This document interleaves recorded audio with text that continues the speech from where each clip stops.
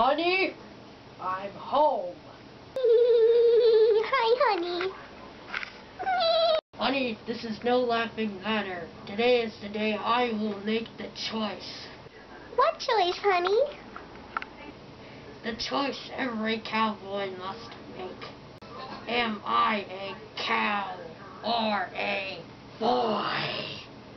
Kids, come in here right now. Yeah, Mom, what's the big deal? Your dad's being insane and saying that it's time for him to make the choice. Since I'm like 30 something, being a boy is out of the question. I must be a cow. No, Daddy, I don't want to drink your milk. Uh, now be quiet, son. You'll like me as a cow. Now it is time to figure out how to be a cow. Uh. Uh. Uh. Uh. Uh. Better search. Um. This is useless. Oh wait, wait, wait, wait. Oh yes, yes. Okay, yeah, this looks good.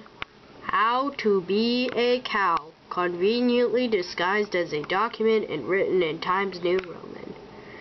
Seems legit. Number one, wear light pants. Step two, purple. Der, to be a cow, purple is essential. Is this purple enough? Number three. Well, I don't know. Get on the floor and moo, you unnecessary waste of space. Okay.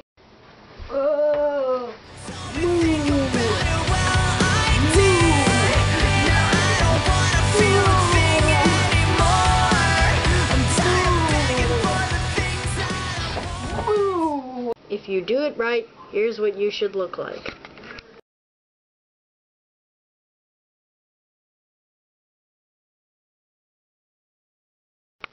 Thanks for reading. Now go follow me on all your social media. Okay, I think I get it.